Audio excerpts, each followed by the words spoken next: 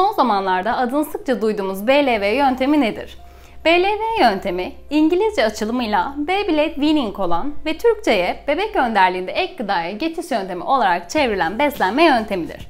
BLV yöntemiyle birlikte bebeğin kendi başına yemek yemeyi öğrenmesi ve anne sütünden kademeli olarak kesilmesi amaçlanmaktadır. Peki BLV yöntemi nasıl uygulanıyor? Öncelikle bebeğinizi dik ve önündeki yiyeceklere kolayca ulaşabileceği bir pozisyonda oturtmalısınız.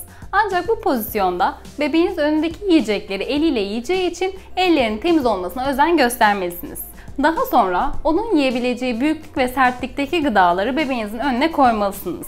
Bu aşamada mevsim meyveleri ve sebzeleriyle başlamanız bebeğiniz için gayet ideal bir başlangıç olacaktır. Besinleri önüne koyduktan sonra ise onun nasıl ve ne zaman yiyeceğine kesinlikle karışmamalı ve müdahalede bulunmamalısınız. Böylece bebeğiniz kendi başına yemek yemeyi öğrenecek ve önüne koyduklarınızı keşfetme fırsatını yakalayacak.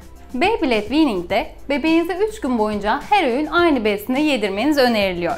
Böylelikle bebeğinizin olası alerjik tepkilerini de gözlemleyebilme şansınız oluyor. Baby-led weaning yani BLV hakkında daha fazla bilgi için aşağıda açıklamalar kısmında bıraktığımız linke tıklayabilir veya gebe.com'a girerek arama çubuğuna BLV yöntemi nedir yazabilirsiniz.